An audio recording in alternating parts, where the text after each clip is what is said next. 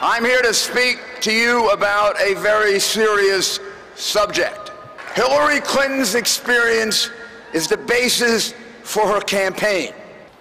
Every time New York suffered a tragedy, Hillary Clinton was there to help.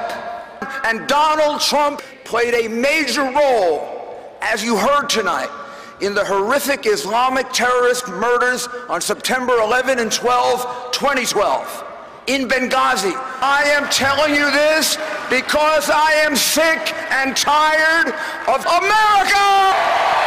What happened to it?